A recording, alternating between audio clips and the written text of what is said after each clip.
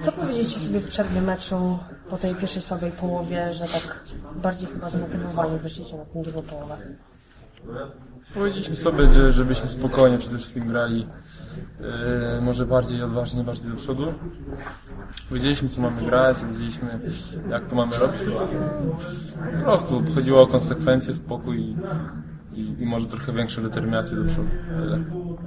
Czy ta wygrana teraz jakoś bardziej Was zmotywuje do wygrania kolejnego meczu, czy jest to jakiś taki kolejny etap, e, do, to, do, do, tego, do czego dążycie? Przez każdy mecz jesteśmy tak samo zmotywowani, nas dodatkowo nie musi motywować. Myślę, że motywacja w naszym zespole jest na najwyższym poziomie i nie ma czegoś takiego, że nas motywuje zwycięstwo bardziej czy nie bardziej. Nas, nas interesuje każdy następny mecz, czy to jest Warta, czy to jest Olimpia Gdynia, czy to jest każdy inny zespół. Bo ta liga jest trudna i tak naprawdę każdy, każdy mecz jest najważniejszy i tak naprawdę najtrudniejszy.